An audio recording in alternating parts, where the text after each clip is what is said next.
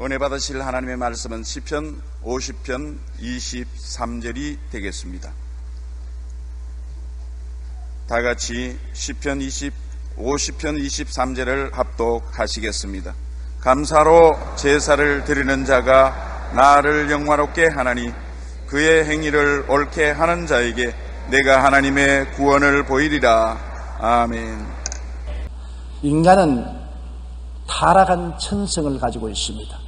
그 천성 중에 두드러진 성품이 불평하는 겁니다.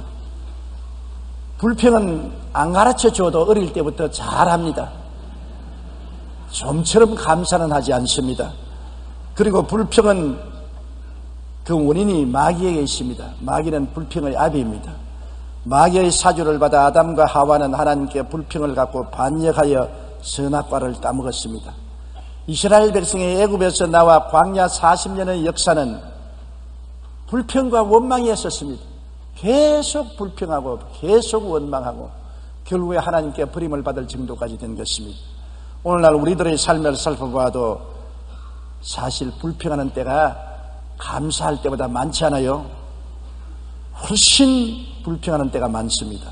불평은 썩은 음식 찌꺼기와 같아서 파리떼 같이 귀신들을 불러들입니다. 왜 우리의 삶에 감사가 중요한지 우리는 알고 힘써 감사를 해야 되는 것입니다. 첫째로 감사는 하나님을 영화롭게 하는 것입니다.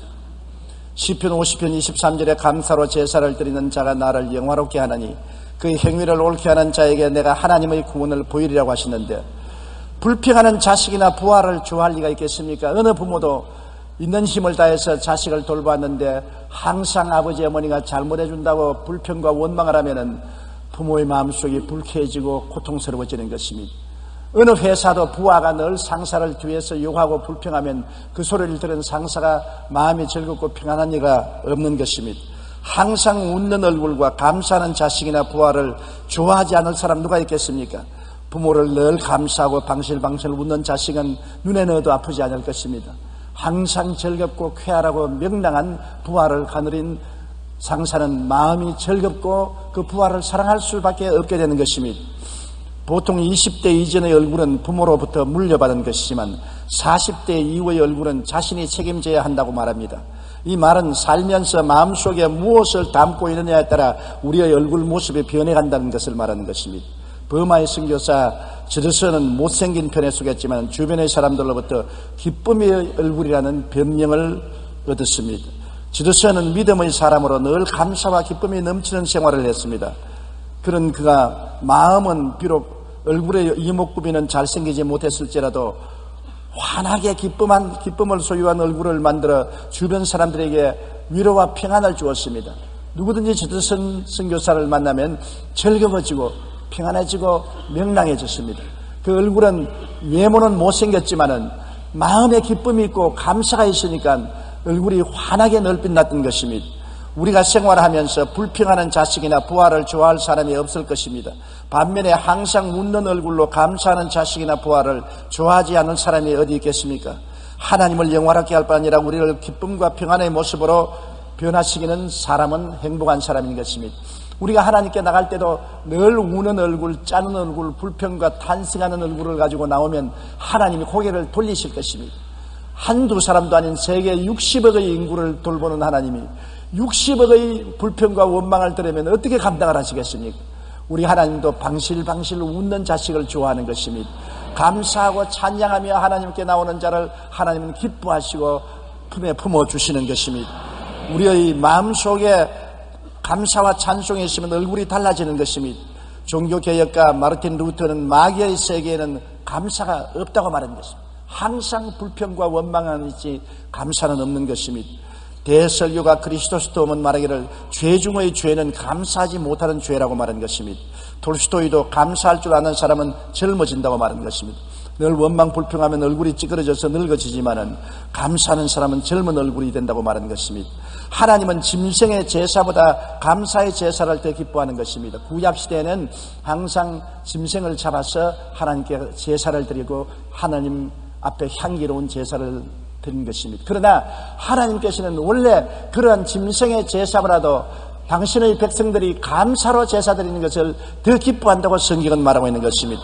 시편 69편 30절로 31절에 내가 노래로 하나님의 이름을 찬송하며 감사함으로 하나님을 위대하시다 하리니 이것이 소 곧 뿔과 굽이 있는 황소를 드림보다 야외를 더욱 기쁘시게 함이 될 것이라고 말한 것입니다. 시편 50편 14절로 15절에 감사로 하나님께 제사를 드리며 지존하신 이에게 내 성운을 갚으며 환란 날에 나를 부르라 내가 너를 건지리니 내가 나를 영화롭게 하리라. 감사로 제사를 드리는 것을 하나님이 얼마나 감동하시든지 환란 날에 하나님이 그 친히 건지고 영화롭게 해주시겠다고 하셨으니 하나님이 감사하는 자를 얼마나 기뻐하시는 것을 이 성경은 분명히 우리에게 가르쳐 주고 있는 것입니다.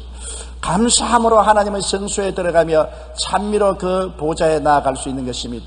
우리가 어떻게 하나님 성소의 문에 들어가며 하나님 보좌 앞에 나가겠습니까? 옷을 단장해야 들어가겠습니까? 얼굴에 예쁜 화장을 해야 들어가겠습니까? 코를 높여야 됩니까? 눈썹을 새로 그려야 됩니까? 아닙니다. 우리의 외모든 형상은 어떠하든지 감사를 하면은 하나님 성소에 들어갈 문이 쫙 열리고 찬미로 나아가면 그 보좌 앞으로 이끌어 들려지는 것입니다. 시편 100편 3절로 4절에 야외가 우리 하나님이신 줄 너희는 알지어다. 그런 우리를 지으시니요 우리는 그의 것이니 그의 백성이요 그의 기르시는 양이로다.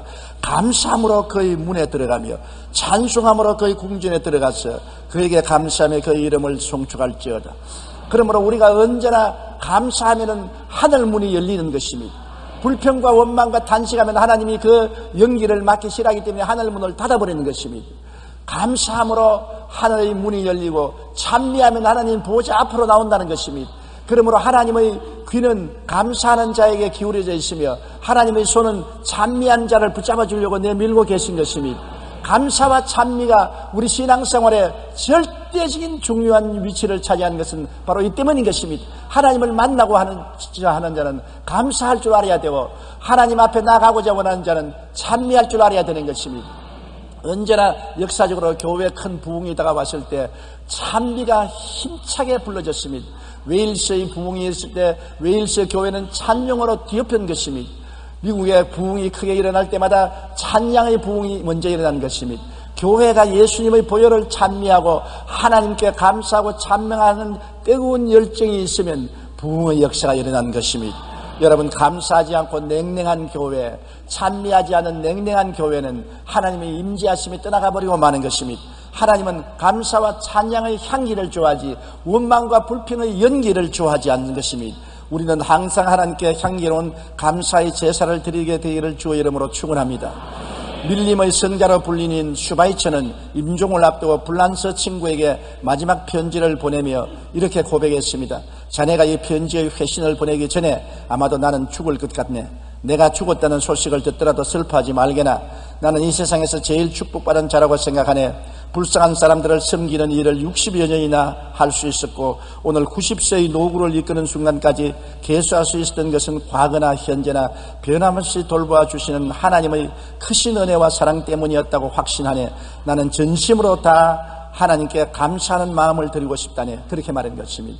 죽는 순간에도 친구에게 편지하는 것은 하나님께 감사한다는 편지인 것입니다. 슈바이처 박사는 생을 마치는 최후의 순간까지도 평화로운 상태에서 자신을 인도해 주시고 보호해 주신 하나님께 감사의 고백을 했습니다.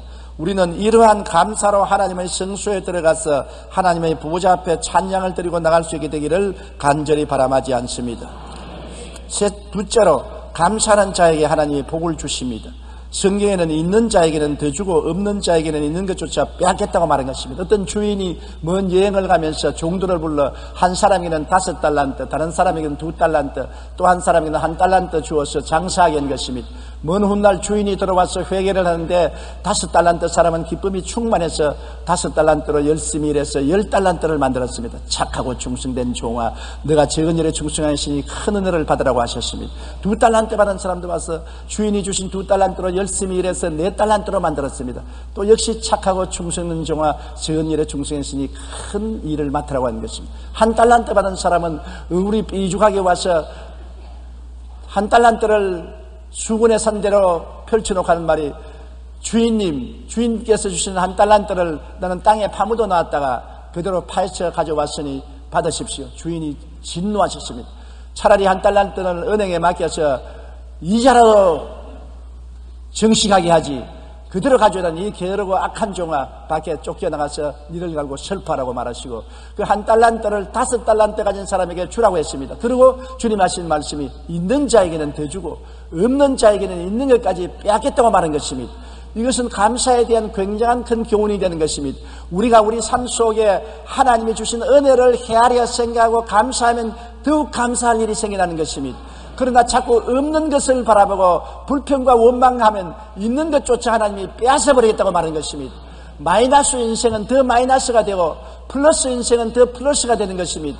우리는 우리의 삶 속에 감사할 것을 찾으면 많이 찾을 수 있고 불평할 것을 찾으면 많이 찾을 수 있는 것입니다. 그러나 항상 긍정적이고 찬, 창조적인 면을 택해서 감사할 것을 들어서 감사해야 되는 것입니다. 이것이 하나님이 원하시는 삶의 태도인 것입니다. 언제나 있는 것을 찾아야 되고 없는 것을 찾으면 안 되는 것입니다. 똑같은 두 사람이 길을 가다가 큰 독에 물이 반쯤 가득한 것을 보고 한 사람은 할렐루야 물이 반쯤 가득하구나 다른 사람은 보고 고개를 설레설면서 아이고 물이 반쯤 텅 비었구나 그렇게 말하는 것입니다. 똑같은 독에 물이 반 있는데 한 사람은 가득한 것을 보고 한 사람은 반 빈 것을 보는 것입니다. 우리 인생에 하나님이 은총을 주신 것을 바라보는 사람도 있고 없는 것을 바라보고 원망하는 사람도 있는 것입니다. 여러분 우리는 하나님께 절대로 없는 것을 가지고서 원망하지 말아야 되는 것입니다. 있는 자에게는 더 줍니다. 감사한 자에게는 더 감사하게 만들고 찬양하는 자에게는 더 찬양하게 만들지만은 원망 불평하는 자에게는 준 것도 다 빼앗습니다. 스플존이 말한 것처럼 촛불을 보고 감사하면 전등불을 주시고 전등불을 가지고 감사하면 달을 주시고 달을 보고 감사하면 태양을 주신다고 말하고 태양을 보고 감사하면 천국을 주신다고 말한 것입니다. 감사는 자꾸 감사할 것을 더 많이 증가시키는 것입니다. 그러나 원망과 불평은 자꾸 더 원망과 불평할 것으로 우리를 이끌어가고 마는 것입니다. 이스라엘 백성이 적과 꿀이하는 땅을 약속받았지만은 결국 못 들어가고 광야에 들어가서 40년 방황하다가 첫 세대가 다 죽은 것은 원망과 불평입니다. 하나님이 광야를 통해서 얼마나 많은 기적을 베풀었습니까? 만단을 허락해 주고 바위에서 물이 나오고 메추라기가 오고 신발이 떨어지지 아니하고 옷이 낡아지지 아니하고 병든 자가 다 고침을 주는 놀라운 은총을 생각하고 감사하지 아니하고 항상 길이 험하다 잠자리가 좋지 않다 음식이 박하다 괴롭다, 여행하기가 고통스럽다, 원망과 불평을 하다가 나중에 버림을 당고 마는 것입니다. 인생을 살아가는 동안에 여러분 우리가 감사하는 일을 배우는 것이 큰 유익이요 축복인 것을 알아야 되는 것입니다. 우리는 하나님께서 주신 인생이란 달란트를 가지고 하나님께 영광을 돌려야 되는 것입니다. 성경 말씀에 보면 예수님이 길을 가는데 문둥이 열 사람이 고함을 쳤습니다. 다윗의 아들 예수의 우리를 불쌍히 여기소서. 예수님께서 그래 제사장에게 가서 너희 몸을 보여라. 그들이 제사장에게 몸을 보여러 가는 동안에 보니까 문둥병이 나왔어요.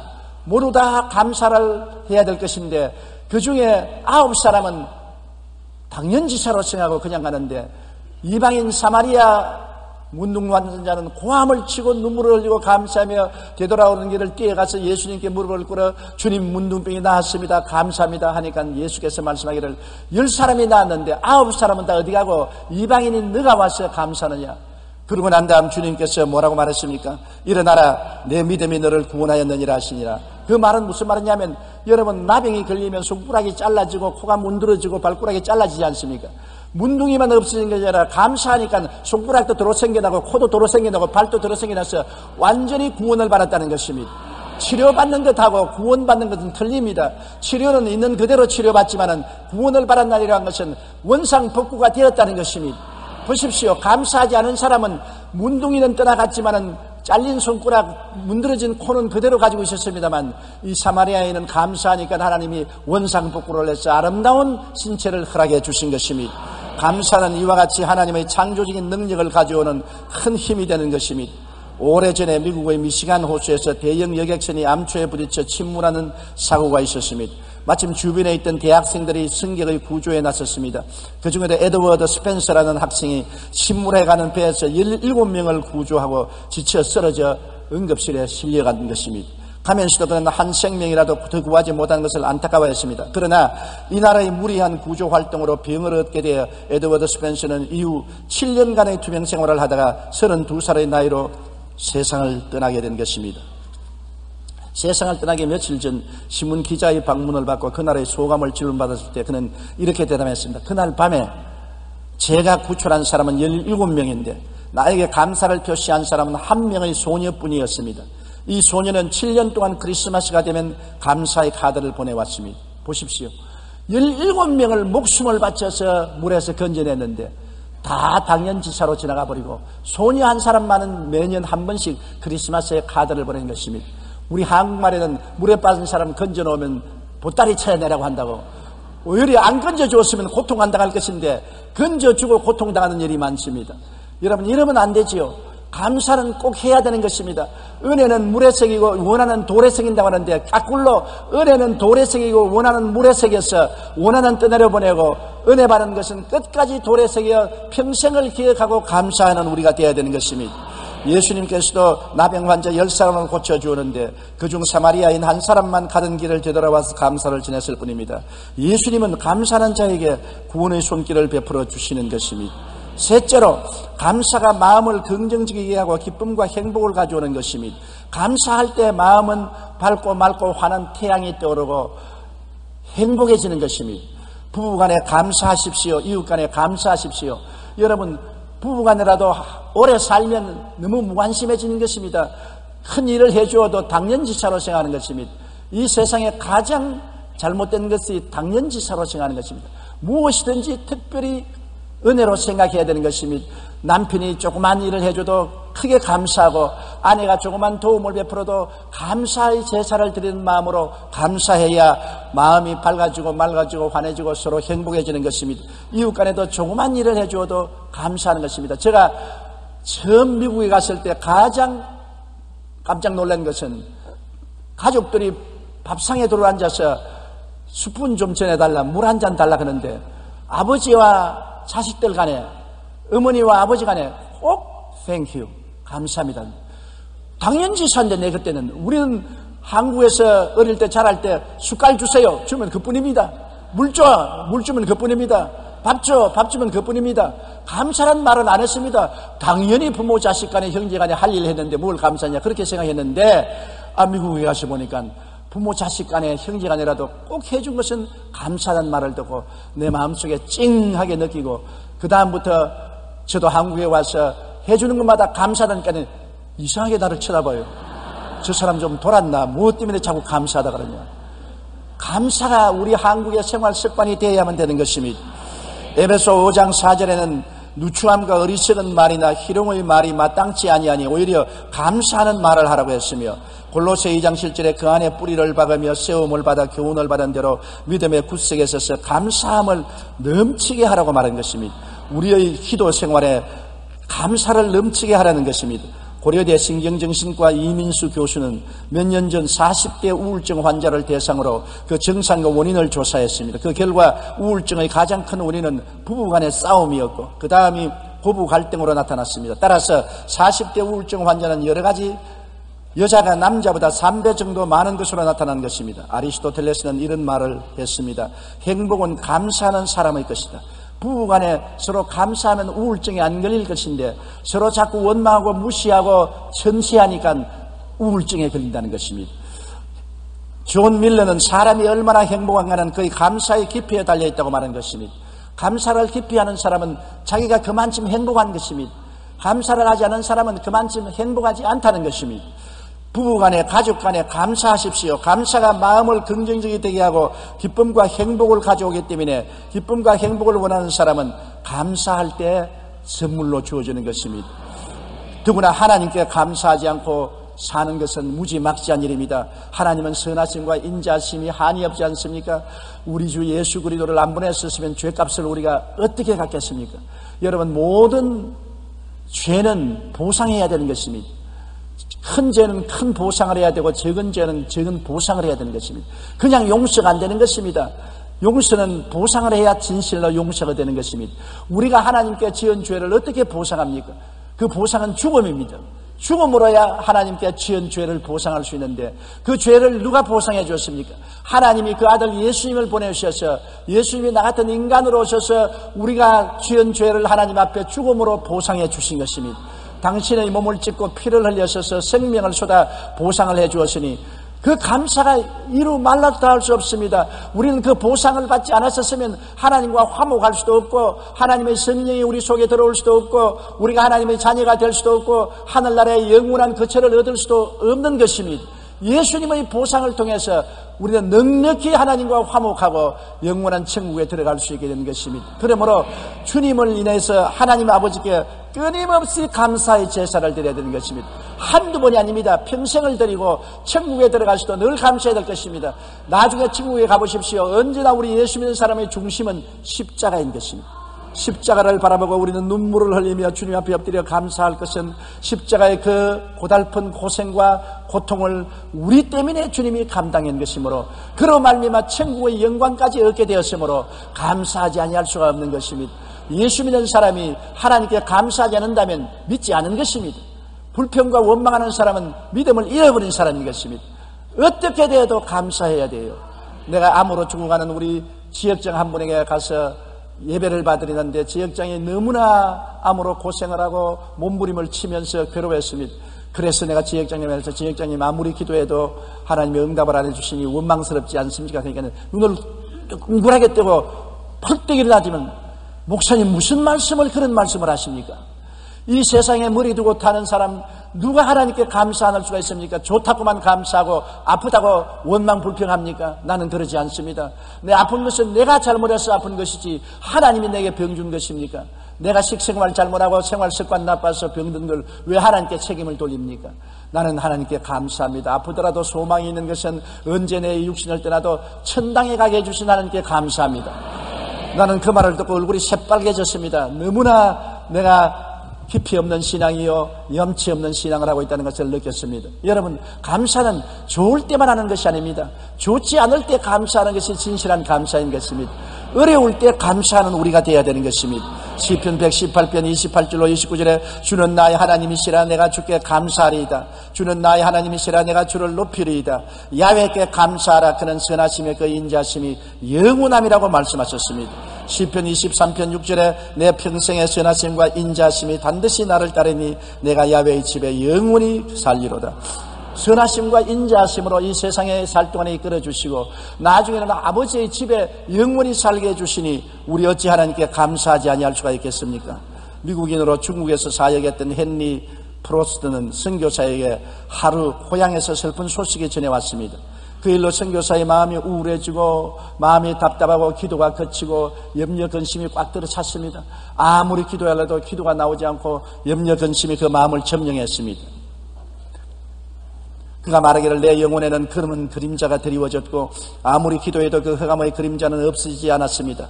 어느 날 성교 본부에 갈 일이 있어 성교 본부에 문을 여는데 벽에 이런 글자가 기록되어 있었습니다. Try Thanksgiving. 감사를 해보라. 그 말이 마음에 부딪혀서 그때로부터 시작해서 그는 하나님께 감사했습니다. 하나님 나에게 일어난 모든 일로 인하여 감사합니다. 고향에서 들어온 슬픈 소식도 하나님이 돌봐주실 걸 믿고 감사합니다. 그러자 그는 말하기를 그 시각부터 하나님께 감사를 드리기 시작했습니다. 그러다가 흑암은 물러가고 내 영혼에 빛이 비추기 시작하였습니다. 마귀가 떠나간 것입니다. 영국의 종교가이며 기도의 사람으로 알려진 월리엄 로우는 이렇게 말했습니다. 만족과 행복을 가장 빠르게 찾는 비결은 범사에 감사하는 데 있다. 원망과 불평은 원수 마귀가 가져와서 우리 마음을 억압하고 우울증에 걸리고 고통을 가져오는 것입니다. 마귀가 제일 싫어하는 것이 감사인 것입니다. 감사 찬양을 드리면 하나님의 영광이 비춰오기 때문에 마귀는 한 길로 왔다가 일곱 길로 도망치게 되는 것입니다. 감사가 마음을 긍정적이 되게 하고 기쁨과 행복을 가져옵니다. 우리가 하나님께 감사할 때 하나님께서는 그 선하심과 인자하심을 넉넉히 부어주는 것입니다. 넷째로 감사는 내적 치료를 가져오는 것입니다. 불평은 미움, 분노, 불안, 절망, 탄식 등을 가져오나 감사는 이 모든 독을 해소시키는 그 일을 하는 것입니다. 뱀에게 물리면 뱀의 독이 몸속에 들어가서 피를 응고시키는 것입니다. 피가 굳어져 버리면 간장도 심장도 활동을 중지하고 죽는 것입니다. 뱀에게 물려서 피가 응고할 때 어떻게 하는 것입니까? 해독제 주사를 빨리 맞아야 되는 것입니다. 해독제를 맞으면 해독제가 몸속에 들어가서 응고되는 피를 물렁, 물렁물렁하게 만들어주고 묽게 만들어주어서 독사의 독이 해소되게 만들어주는 것입니다. 마귀는 우리를 물어서 불평하게 만드는 것입니다. 마음에 미움, 분노, 불안, 절망, 탄식이 꽉 들어차서 인생을 파멸시키는 것입니다. 빨리 해독을 해야 되는 것입니다. 해독제는 멀리 있지 않습니다. 병원에 가야 해독을 하는 것이 아닙니다. 성경을 펼쳐 읽고 하나님께 감사하기 시작하면 해독되기 시작하는 것입니다. 감사할 때 귀신들이 쫓겨나기 때문인 것입니다. 사무엘상 16장 14절에 야훼의 영이 사울에게서 떠나고 야훼께서 부리시는 악령이 그를 번뇌하게 한지라 사울이 하나님을 반역함에 성령이 떠나고 악령이 와서 그를 괴롭혔습니다. 악령으로 말미암아 몸부림치고 야요를 하고 고함을 치고 몸부림을 쳤습니다.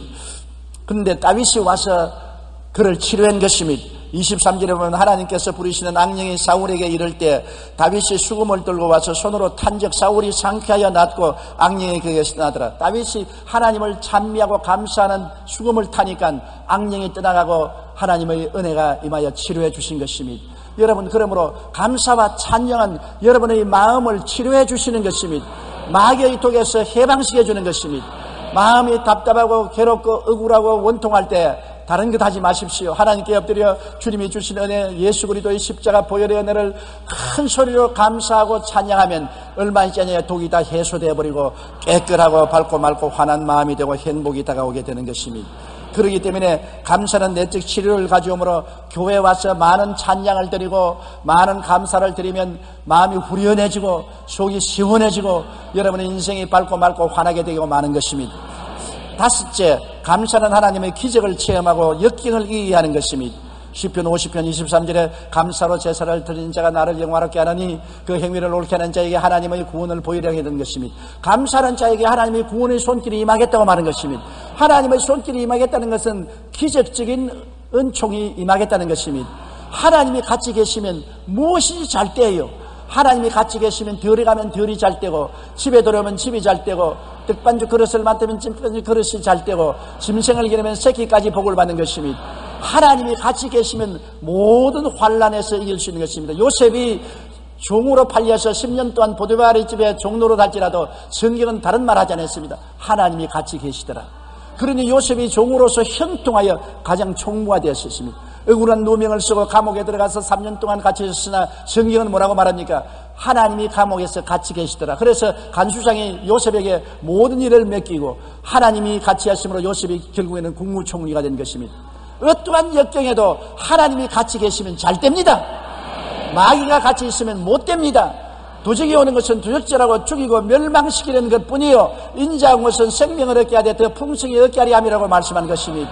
어떻게 하나님이 늘 같이 하게 하는 것입니까? 감사를 하면 하나님이 같이 것입니까? 부엌에서 감사하면 하나님이 요리를 잘 되게 하시고 집안에서 감사하면 부모 자식들이 잘 되게 하시고 장사터에서 감사하면 장사 잘 되게 해주시는 것입니다. 원망 불평하면 하나님의 영광이 떠나고 마귀가 오므로 도적질하고 죽이고 멸망시키는 역사를 베푸는 것입니다. 바울이 빌립보 감옥에서 갇혔을 때이것입니다. 신라와 함께 복음을 지나다가 잡혀서 등이 얻어치도록 얻어맞고 피를 흘리고 배를 굶고 빌립보 깊은 감옥 속에 갇혔을 때 밤중에 그 두 사람이 일어나서 기도하고 철고랑을 마주쳐 치면서 감사 찬송을 드렸습니다. 얼마나 깊이 감사했던지 죄수들이 듣고도 자유정했습니다. 그러자 온 빌립보 옥트가 뒤어 흔들리고 전부 쇠고랑이 다 끌러지고 감옥문이 열리고 해방과 자유의 문이 활짝 열린 것입니다. 그들이 감사 찬양을 할때 감옥에도 하나님이 같이 계시니까 빌립보 감옥에 바울과 신라만 옥에서 쇠고랑이 끌어진 것이 아니라 곁에 있던 사람조차도 다 쇠고랑이 끌어지고 만 것입니다. 우리 한국 교회가 하나님께 감사하고 찬미하면 가난의 쇠고랑, 궁핍의 쇠고랑, 저주의 쇠고랑이 다 끌어지고 우리 덕분에 안 믿는 사람들 쇠고랑도 다 끌어지고 마는 것입니다. 감사와 찬송은 우리를 자유케 하고 해방케 하는 능력과 권세가 있다는 것을 알고 우리가 묶였으면 감사 찬송을 들려야 되는 것입니다. 작년 이맘때 12월 감사의 달을 맞이한 일간지 논설에 한국인의 감사 결핍증에 대한 글이 실린 것을 읽어보았습니다. 우리나라에서는 대부분 물건을 사고 나올 때 손님이 인사를 하면 주인은 감사라는 말 대신에 또 오십시오. 이기적인 인사를 한다고 합니다. 아이들에게도 장난감을 주면 고맙습니다라는 말 대신에 야 신난다. 택시 정류장에서 바빠서 어둥거리는 젊은이에게 먼저 타도록 양보해줘도 젊은이는 고맙단 말 한마디 안 하고 택시에 들어서 문을 확 닫는다는 것입니다. 반면 서양 사람들이 일상적으로 가장 많이 쓰는 말 가운데 하나가 감사라는 말로 이들은 옷, 옷을 살 때도 신문 한 장을 살 때도 감사하다고 말합니다. 그러면서 서양인의 이러한 태도는 서구 사회가 기독교를 바탕으로 이루어진 나라들이 많기 때문이라고 신문 사설에 기록해 놓은 것입니다. 성경에서 예수님은 범사에 감사라고 말씀하셨습니다. 감사는 좋은 일을 더 좋게 만들고 좋지 않은 일은 감사의 능력으로 합력하여 선을 이루게 하시는 것입니다. 우리 그리스도인들이 먼저 매일의 삶 속에 감사하는 생활을 습관화해야 되는 것입니다. 성경에는 범사에 감사라고 했는 것입니다. 감사는 좋은 일을 더욱 좋게 하고 더욱 아름답게 하고 풍성하게 만드는 것입니다. 그리고 나쁜 일은 합동하여 선을 이루는 큰 역사로 믹사같이 일을 하게 되는 것입니다. 우리는 매일의 삶 속에서 불평할 것을 찾지 말고 무엇을 감사할 까를 찾아야 되는 것입니다. 남편의 삶 속에 무엇을 감사할까? 아내의 삶 속에 무엇 잘난 점이 있느냐? 무엇을 감사할까? 부모와 자식 간에도 이웃 간에도 자꾸 잘난 점을 찾아서 감사를 하고 찬양을 해야지. 잘난 점은 다 두고 못난 점만 자꾸 찾아서 불평과 원망을 하면 서로 미워하게 되고 분리하게 되고 싸우게 되고 마찰이 있고 알력이 있고 불평하고 불행이 다가오게 되는 것입니다. 감사는 하나님이 우리 인생을 평탄하게 살게 하고 복을 받게 하고 성공하게 하는 비밀인 것입니다. 마귀가 아무리 우리에게 독을 뿌리고 우리를 깨물어도 독이 우리 속에 아무리 넘쳐와도 감사만 하면은 독이 다 해소돼 버리고 마귀가 무력화되고 마는 것입니다. 마귀를 이기는 힘, 불행을 이기는 힘, 좌절과 절망을 이기는 힘, 마음의 병을 고치는 힘으로서 하나님이 우리에게 주신 감사의 제사를 끊임없이 드리는 여러분 되시기를 주님 이름으로 축원합니다. 우리 기도드리겠습니다. 전능하신 아버지 하나님, 우리는 형식적, 의식적으로 감사 줄기를 맞이해서 감사 주의를 지낼 것이 아니라 정말로 우리 마음속에 하나님께 감사의 제사를 드리고 이웃에게 진정으로 감사를 하는 우리들이 되게 도와주시옵소서. 더 많이 감사하면 더 은혜가 풍성해지고 더 많이 감사하면 더 축복이 넘쳐나고 더 훌륭한 인격으로 변화된다는 것을 깨달아 알게 도와주시옵소서. 멀리 있는 것이 아니라 우리의 문제를 해결할 수 있는 길이 바로 가까이 우리 마음에 있고 우리 입술에 있다는 것을 깨달아 알아서 감사를 충분히 넘치게 하는 우리가 되게 하여 주시옵소서. 예수님 이름으로 기도드립니다. 아멘.